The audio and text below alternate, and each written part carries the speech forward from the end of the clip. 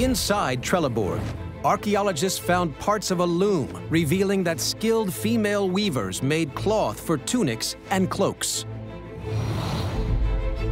The people here also smelted raw materials into pure metals.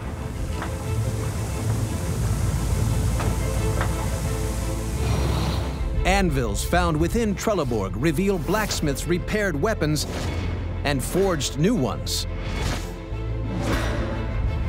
This was a hugely sophisticated fortress, one of the most impressive in Northern Europe, built with incredible precision on an extraordinary scale.